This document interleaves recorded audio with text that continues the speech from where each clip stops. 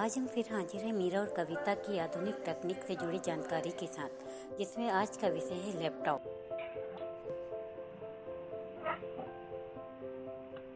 क्या नाम है भैया? दीपक कुमार। आप यहाँ पर क्या करते हैं? रिपेयरिंग और सेलिंग देते हैं। सबसे ज़्यादा कंपनी जो है चल रही है वो।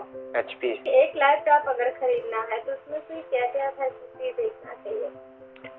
मेन चीज़ होती है प्रोसेसर फिर रैम फिर हार्ड डिस्क हाल में ही कौन से लैपटॉप लॉन्च हुए हैं? C zero one nine A C zero four zero क्या रेंज है दोनों की? तेईस हज़ार नौ सौ नब्बे। पच्चीस नौ सौ नब्बे। दोनों में क्या अंतर है? सर इसमें प्रोसेसर का है सिमरॉन ड्यूल कोर है पेंटियम ड्यूल कोर है। दूसरा अंतर रैम का है टू जी बी रैम है फोर जी बी रैम है। तीसरा अंतर हार्ड डिस्क का है। चौथा अंतर विंडोज़ और डॉस का है। विंडोज़ कितनी है उसमें? एट पॉइंट वन है इसमें। और दूसरा?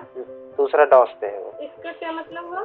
डॉस में होता है कि आप कोई भी ऑपरेटिंग सिस्टम इसमें डाल सकते हैं। किसी को खरीदना है तो आप क्या अपने कस्टमर को सुझा रहे हैं सजेशन कुछ नहीं देते। क्वालिटी बताते हैं बाकी कस्टमर खुद तो अपना समझ के लेते हैं। इनमें से कौन सा ज़्यादा बिक रहा है?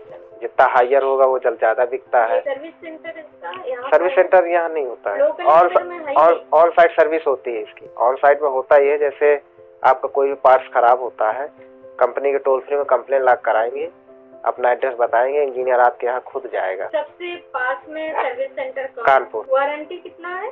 वन ईयर वन ईयर हाँ। और गारंटी नो वारंटी ही होती है। सबसे ज़्यादा सक्सेसफुल है दोनों में से।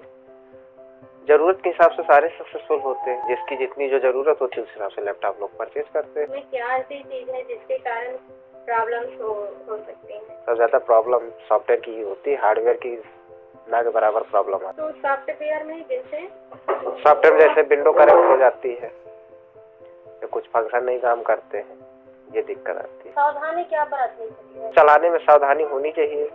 नेट यूज़ करते हैं अपडेट हो जाती है विंडो सॉफ्टवेयर करेक्ट हो जाता है।